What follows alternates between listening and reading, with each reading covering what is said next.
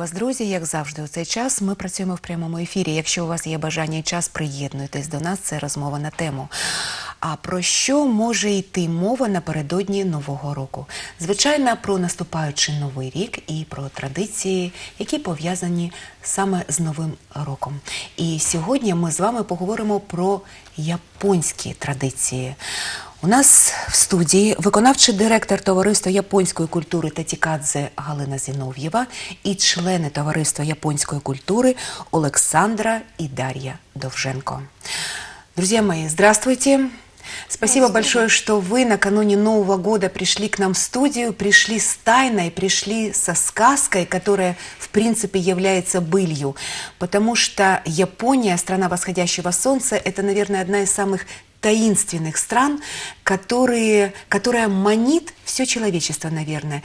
И вот, друзья мои, Галина Зиновьева, эм, виконавчий директор Товариства японской культуры Татикадзе, готова поделиться с нами проектами, которые именно интенсивно э, входят в жизнь Николаевщины. Галина, будьте добры. Итак, Николаев так далеко отстоит от Японии, и тем не менее есть люди, которые любят Японию, потому что там есть чему учиться и есть чем восхищаться, правда? Ну, я думаю, у любой страны есть э, чему учиться, чему восхищаться, но действительно в Японии это просто стиль жизни. Стиль жизни, постоянное совершенствование, всем, чем японец занимается, он всегда хочет сделать лучше и лучше. Есть такой термин – кайдзен – постоянное усовершенствование. Я хочу сейчас немножко рассказать о тех проектах, которые сейчас непосредственно мы выполняем, и в завершении года э, они новые проекты. Один из них – это всеукраинский проект «Иероглиф года. Традиции Японии и Украины», который был предложен к проведению на территории нашей страны молодым украинско-японским каллиграфом-художником Богданом Пархоменко.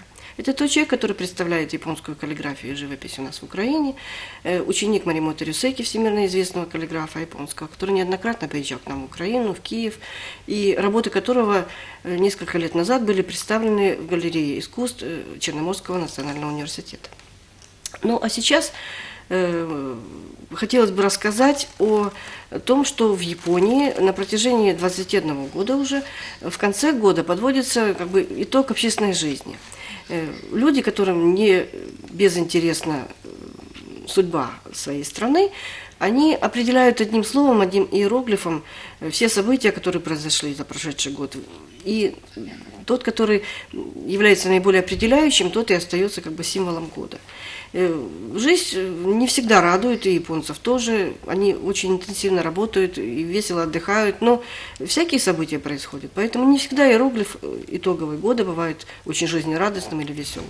Бывают землетрясения, бывают какие-то э, террористические акты, бывают э, ну, даже отравление едой, либо какие-то болезни, эпидемии, все бывает в жизни. Но бывает и приятное, например, победы в Олимпийских играх или постройка новых каких-то сооружений. То есть японцы э, объективно смотрят на свою жизнь, и поэтому иероглифы от самых радостных до самых ну, негативных иногда бывают. Э, Вот эту традицию мы хотели бы провести и в Украине, как започаткувати на украинском языке, мне кажется, это больше всего подходит слово именно для такого действия. Э, Этот год, прошедший для Украины, был тоже очень непростым, поэтому э, предложения по иероглифу года были различные. Перемены, надежды, э, сподівання, да? Ожидания, тревога, финансовые займы, все что угодно.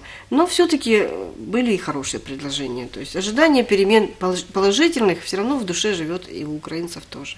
Мы подводим этот итог этого проекта вот сейчас в эти предновогодние дни и в начале года. Поэтому все, кто хотят проголосовать, пожалуйста, заходите на сайт reu.com и проголосуйте, предложите то слово, которое хотелось бы, по вашему мнению, э, предложить и определить жизнь в Украине. Потому что чаще всего под Новый год мы, конечно, думаем о том, что произошло в наших семьях или то, что произошло в нашей личной жизни. Но пока не будем мы думать, как мы вливаемся в жизнь нашей страны, что мы делаем для того, чтобы она была лучше, наверное, это будет неправильно. И гражданское общество мы его не построим, и, наверное, жизнь наша не улучшится, если мы будем думать только о себе. Вот такой проект. И э, еще несколько слов именно об этом, потому что э, в эти дни в музее Верещагина проходит наша выставка, и э, об о каллиграфии, об иероглифах мы ведем там тоже речь наряду с э, другими как бы, вопросами, которые поднимаются на этой выставке. Сейчас я хочу пока передать слово девочкам, они расскажут о своих достижениях в изучении японского языка, а потом мы вернемся к выставке музея Верещагина. Да, я хочу подчеркнуть, дорогие телезрители, несмотря на то, что наши гости Дарья и Александра Довженко не японки, однако в японском они весьма преуспели, да, девчонки? Преуспели? Да. А скажите, пожалуйста, почему вы э, решили заниматься японским языком? Чем привлек вас этот язык, который, в принципе, и на, для уха э, нашего он весьма сложен? Ну, сначала, когда мы были маленькими, мы смотрели японские мультики, аниме. Они нам очень понравились, и мы потихонечку начали заинтересовываться культурой, самим языком, и потихонечку начали Изучать э, его. изучать, э, да, язык. Э, Мы с кружком были на фестивале «Дружба», фестивале нацменьшинств, и вот как раз по- там познакомились и с Галиной Юрьевной, нашли учителя и потихонечку начали заниматься. Галина Юрьевна, вы владеете японским языком. Нет, Будем я- вести эф- я эфир на японском. В 2004 году, э, уже после того, как мы довольно продолжительное время как бы изучаем японскую культуру, пришла с предложением в Черноморский, тогда еще Державный университет, сейчас уже Национальный университет, с предложением к Леониду Павловичу Клименко открыть японский центр в университете. И сначала э, этот центр был открыт на факультете политических наук, потом мы перебрались на филологический факультет. Но э, идея оказалась очень плодотворной, и три года в нашем университете проработала японский преподаватель Юка Араи, э, которая приехала по проекту посольства Японии и Украинско-японского центра Киевского. Э, А потом к преподаванию японского языка приступила Алена Игоревна Штевина. И она тоже очень успешно и результативно обучала наших студентов и школьников в городе Николаеве. Вот. Поэтому, безусловно, вот девочки, которые уже 6 лет учат японский язык, достигли больших успехов. Каждый год э, в начале декабря проходят всемирные тесты по японскому языку на Рёкосикан. И, ну, даже Саша лучше, наверное, об этом расскажет, как непосредственные участники. Сашенька, будьте добры, Дашенька. Ну, получается, э, там о, сам, ну, Норёкусикен экзамен состоит из трех блоков. Лексика, грамматика и аудирование. Ну, самым сложным всегда считается грамматика и аудирование. Э, Ну, потому что лексика – это на знание слов и канджи, э, иероглифов. А, а грамматика – это уже нужно э, ну, подставлять конструкции, а конструкция там сложная. Хотя легче, чем в английском, ну, для меня.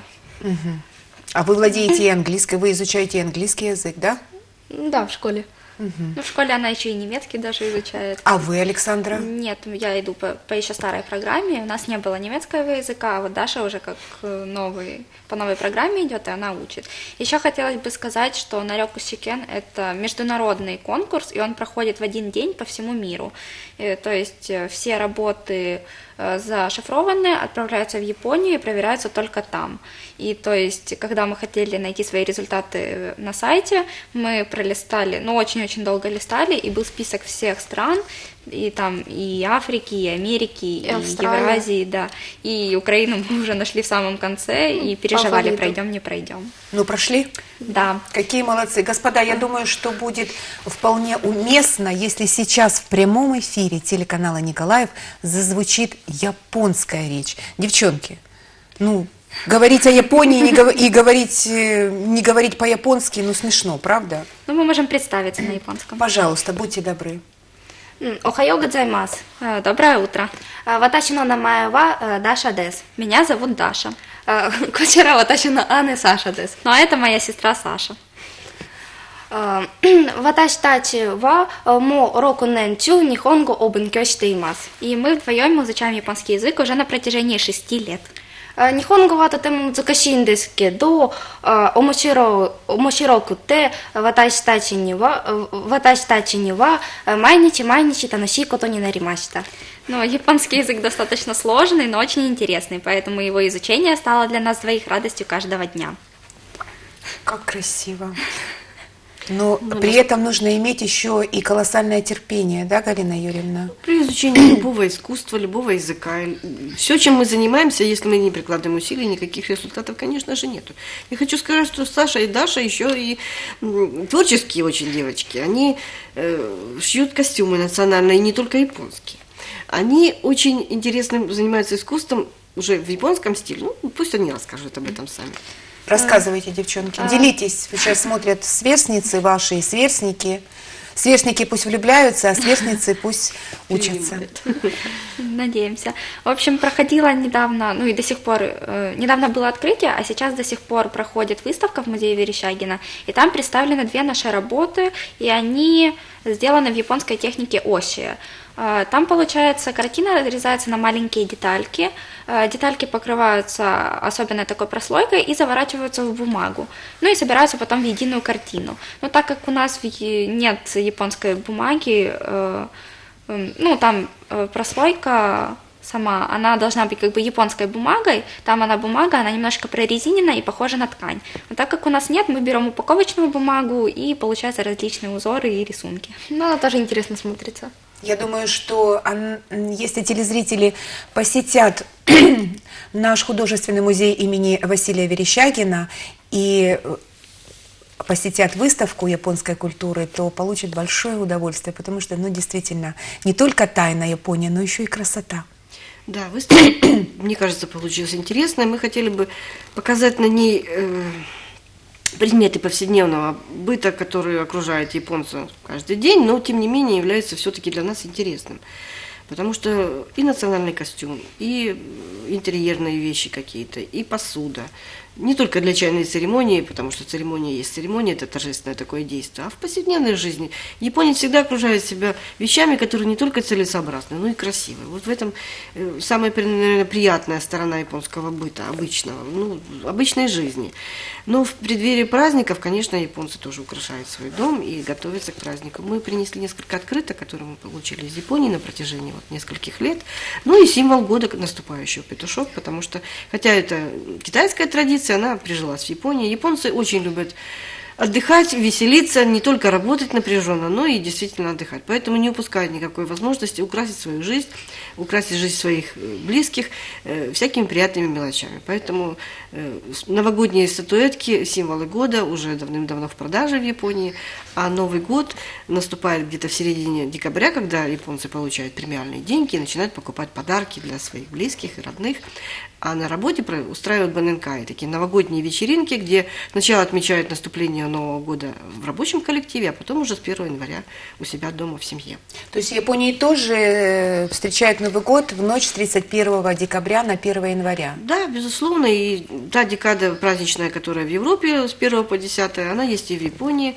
Хотя традиции национальные, например, 108 ударов колокола, которые звучат новогоднюю ночь в храмах японских, и э, новогодние композиции из бамбука, сливы, апельсин и, рисовых лепешечек, э, кадамацу, такая новогодняя композиция, тоже в домах присутствует наряду с европейской елкой. Ну, все это можно увидеть, и об этом всем можно узнать на нашей выставке Музея Верещагина. Мы всех приглашаем. Выставка продлится еще долго, практически до конца января, и во время выставки, я думаю, мы проведем еще несколько встреч с николаевцами расскажем о новогодних традициях Японии и вообще о японских традициях. Тем более, что в эти новогодние и предновогодние дни эти рассказы будут весьма и весьма актуальны. А вот вы знаете, до начала эфира наш э, видеооператор, который сейчас стоит за камерой, Егор Сидельников, сказал, что эм, нужно ценить свое, но и м, брать лучшее от других. Конечно, мы ценим и свои традиции. Галина Юрьевна, девочки, но что мы можем вот для нашего менталитета, что мы можем принять от Японии для того, чтобы наша душа раскрывалась и творчество совершенствовалось, да и жизнь улучшалась? Будьте добры. Галина Юрьевна, на ваш взгляд. Ну, я, я уже говорила сегодня, что в традициях любого народа, в культуре любого народа есть те черты, которые интересны будут для других стран. И на самом деле сейчас у нас настолько процесс глобализации ускоряется, и мы пересекаемся с представителями разных народов и стран практически каждый день. Особенно молодежь, я думаю, она будет жить уже совершенно в другом мире. Для них будет гораздо легче уех- у- уехать, увидеть, вернуться домой, поделиться своими знаниями, научиться чему-то новому. Что же касается японцев, они, наверное, самые любознательные туристы. Это, несомненно, во всех странах кто первый бежит всегда за экскурсоводом? Японцы. Здесь, когда мы встречаемся с нашими японскими друзьями, в Николаеве туристы приезжают, и студенты, и спортсмены, и в Киеве, в посольстве Японии на мероприятиях Украинско-японского центра. Э, Я всегда задаю этот вопрос, что вам интересно в японской культуре? Э, Ну, для нас интересно, что интересно для японцев в украинской культуре? Почему они сюда приезжают? И что для них э, дорого в тех отношениях, которые потом получаются, в рабочих отношениях, каких-то романтических? Возможно, это, ну, сразу и не ответишь, для каждого по-разному это все происходит, но тем не менее. Когда сюда, в Николаев, впервые приехали мои друзья из Японии, они говорят, у нас путеводители, которые изданы на русском языке, но в Японии. В Николаеве только четыре туристических объекта. Это храмы, церкви старинные. А все остальное мы не видели. Ваш красивый город, который расположен у реки, э, окрестности исторические, то, что здесь так зелено и красиво, то, что мы могли совершить прогулку на яхте, то, что здесь столько много исторических зданий. Вот в Японии архитектура все-таки из-за того, что климат такой и землетрясения часто бывают, там мало старинных зданий, они ну, не, Не имеют возможности с ними просто. полюбоваться. Да. То есть и кухня украинская интересна для японцев, и наше отношение, может быть, иногда для японцев непонятное, но тем не менее, оно все-таки э, привлекает их. И когда японские студенты уезжают к себе на родину, они зачастую жалеют о том, говорят, у нас немножко более закрыты, у нас более строгие правила, и нам будет не хватать той душевности, той искренности, которая э, не, не боятся проявлять украинцы в отношениях друг с другом.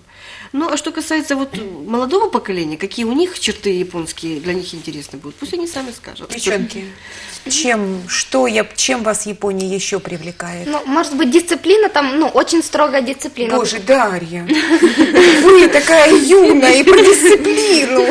Ну, а как без дисциплины не достигнуть никаких результатов? Если не будет строгой системы в изучении чего-либо, познании, то... То есть вас привлекает будет. японская дисциплина? Да, но вот когда мы сдавали вот Норёку Сикен, там, если ты заглянешь кому-то, то и тебя дисквалифицируют, и тому, кому ты заглянул. Если у тебя упадет ручка, ты должен поднять руку, к тебе подойдут, поднимут ручку. Если ты ее поднимешь, тебя дисквалифицируют. И вот таких много нюансов. Да, достаточно трудно сдавать экзамен, потому Да. что много всяких правил, если ты их не выполняешь, то тебя дисквалифицируют. Ну, допустим, если ты не написал один из уровней, то как бы не проходишь дальше. Это все очень взро- по-взрослому и все очень серьезно, и даже я бы сказала жестко. И вам это нравится, что так жестко? Мы вообще можем сказать, что, ну, там есть пять уровней, э, пятый, ну, N5 самый э, нижний, а N1 самый высокий. Но мы можем похвастаться, что сдали уже два э, уровня N5 и N4. Ездили два года подряд, и у нас есть даже э, сертификаты, они полностью на японском, там есть и печати, и подписи, и написано, что сдал. И Это- печать тоже на японском языке? да. Да, Ну, и- а- обязательные печати, там э, именные печати, они вырезаются специально под человека, который ее будет ставить. Ой, как То есть красиво. такие есть только у одного человека. И у вас, да? Нет, у Нет, нас пока нет. Ну, Ну, всё впереди. это да. Обязательный как бы атрибут любого японца. Э, У нас подпись европейская, у них печать. Причем она может быть не одна. Если это люди, творческая профессия, у них может быть псевдоним, у них может быть официальная печать и вообще много всего. А, то есть Но это- японцы не расписывают, не вот как, поставьте свою подпись, японцы Они не могут ставят. поставить свою подпись, но печать обязательно тоже. Это как дань уважения к Китаю, который придумал в свое время иероглифы, и которые вошли в письменность японского языка отдельной частью, потому что в японском языке есть две слоговых азбуки, хирогана, катакана, и есть канзи, иероглифы, которые, ну, без них тоже язык невозможен. Хотя любую японскую фразу можно написать катакана, хирогана, а можно с применением еще и иероглифов. А вот э, наш Николаевский э, центр японской культуры называется Татикадзе. Галина Юрьевна, будьте добры, э, в переводе это что, Татикадзе? Э, В переводе, в вольном переводе, это взмах меча. Тати – это длинный меч, символ японской культуры. Катана – длинный меч тати. И кадзе – ветер. Ну, все знают о той легенде, но в принципе это не легенда, это исторический факт, когда монгольские войска хотели захватить Японию, Япония страной государство и не ожидала такой как бы эм, осады и военного нападения, и была только одна один повод э, надеяться на лучшее, это обратиться к богам. Поэтому японцы начали молиться, и божественный ветер, который спас их от нападения врагов, э, и их страна осталась в неприкосновенности, вот спас. Поэтому кадзе, ветер для японцев, это один из таких сим- символов очень священных. Кадза это по-японски ветер, да? Да. Что же касается японского меча, ну, наша школа начиналась очень давно. Наш коллектив был основан еще в 1988 году со школы боевых искусств. Основателем школы был Артур Шуба, и он э, занимался кендо, и своим ученикам преподавал кендо. А кендо – это именно то искусство, когда задействован длинный меч. Вот меч, который поднимает ветер, и стал символом и названием нашей школы, нашего коллектива. Взмах меча. Взмах как это меча. красиво. А если камикадзе, например? Дзе Камикадзе это, это, ветер. это было подразделение воинов, которые жертвовали своей жизнью во время Второй мировой войны. Ками – это божество. божество. То есть ветер, который, которому помогает божество, они своей жизнью превращались в богов, потому что они отдавали свою жизнь на э, жертву и спасти свою страну в войне, вот, вот скажем так. Галина Юрьевна, будьте добры, а вот если вернуться к этому проекту «Иероглиф года», сейчас пока еще идет конкурс и голосование, а вот на ваш взгляд, какой бы вы предложили иероглиф? Я бы все-таки предложила иероглиф перемены, потому что мы все надеемся на перемены, и пусть они будут хорошими. Да, а это японцам принадлежит фраза «лучше бы ты жил во времена перемен». Нет, это китайская. Китайская, да? Лучше бы не жил во времена перемен. Мне кажется, что, ну, безусловно, без перемен нету движения вперед, но то, что мы э, создаем своими мыслями, своими действиями будущее, это, конечно, неоспоримо абсолютно. У японцев есть э, такой термин «котодама» – вера в силу слова. Если европейцы молятся и верят, что все будет хорошо, обращаются к богам с помощью молитвы, то японцы не только молятся, не только хлопают в ладоши, чтобы их боги услышали, они еще это пишут с помощью иероглифов. Вот, поэтому присоединяйтесь к проекту «Иероглиф года», определяйте это на украинском языке, на английском, на японском, на каком угодно. Главное, то чувство и та мысль, которая вложена в понятие, которое мы выбрали. Кстати, иероглиф и чувство, и мысль на японском языке – это один и тот же иероглиф. Девочки, а вы какие бы иероглифы предложили э, на Ну, Новый лично год? я бы Да, предложила Александра. э, иероглиф опыт кейкен, потому что, ну, лично для меня, ну, я думаю, и для всех людей этот год, ну, как и, в принципе, любой другой, стал э, хорошим опытом, ну, или даже плохим. Ну, как говорят, плохой опыт тоже опыт, ну, и мы многое узнали, научились совершенствоваться, ну, и для меня было очень много полезных вещей, которые я встретила, поэтому выбрала бы опыт. Дарья, а вы? Может быть, удача, потому что этот год, в общем-то, был для меня удачливым. Поэтому, чтобы перенести удачу на следующий год, на 17-й, то может быть удача. И на всю страну. Да, хотелось бы, чтобы и действительно и на всю страну. И, Галина Юрьевна, будьте добры. Итак, планы на следующий год. У нас есть еще несколько минут, чтобы поделиться с телезрителями, э, чем вы порадуете жителей нашего региона. Ну, мы продолжаем выставку. И в ходе выставки будут встречи с николаевцами. Мы расскажем более еще предметно о традициях японской, японской культуры. Это будет чайная церемония. Мы научим одевать кимоно, кто захочет. Э, Покажем, как его шить. Мы расскажем о новогодних традициях именно японских, которые пришли совсем из Средневековья. Очень древние традиции, которые забываются уже и в самой Японии, но все-таки существуют. И мы нарисуем открытки, вот пе- в преддверии Нового года японцы всем своим родным, знакомым, коллегам посылают открытки. Либо их покупают в магазине, делают своими руками. Мы попробуем сделать это своими руками, проведем такой мастер-класс. Что же касается более глобальных проектов, ну, следующий 2017 год – это год Японии в Украине. Он объявля... э, это год объявлен на государственном уровне после визита президента Порошенко в Японию в апреле месяце, поэтому будет много проектов общеукраинских. Что же касается нашего Николаева, нам очень хочется, начиная с апреля, ну, в апреле японцы начинают свой учебный год. И так все приурочены большие проекты именно с апреля. Мы проведем э, в университете имени Петра Могилы круглый стол с, с участием японской страны. И э, в окончании учебного года студенческого и школьников э, проведем выставку, которой будет задействован материал не только по Украине и Японии, но еще и Болгарии, потому что этот проект начинался в Болгарии. Мы, когда были на стажировке в Софии, познакомились с японцами, которые живут в Софии, нашли там японский центр и теперь дружим. И будем со- совместно такой проект проводить. Тем более, что в Николаеве болгарское товарищество Да, да, очень да, в большое. Николаеве есть, да. Ну, а в конце года, видимо, наверное, в сентябре, в октябре будет большой фестиваль японской культуры с привлечением наших друзей из Японии, из Киева, Ну, дай из бог других нам дожить. Украины. Э, У нас все, совсем нет времени, но я думаю, осталась секунда, чтобы попрощаться и пожелать телезрителям, наступа- поздравить телезрителей с наступающим Новым годом по-японски. Друзья мои, Акимашите, омедетоу годзаймас. Ну, это с Новым годом. Да, поздравления с Новым годом. Галина Юрьевна, Всем успехов. С Новым годом. С Новым годом. Друзья мои, с наступающим Новым годом. И пусть все ваши мечты, пусть они сбываются. Потому что если человек не мечтает, то и жить-то неинтересно. Ну и, конечно, учите японский язык, потому что 2017 год объявлен в нашей стране годом Японії.